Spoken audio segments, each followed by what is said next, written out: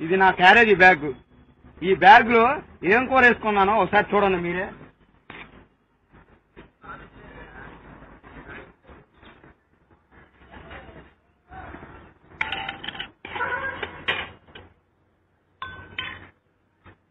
నల్లగారం పచ్చడి.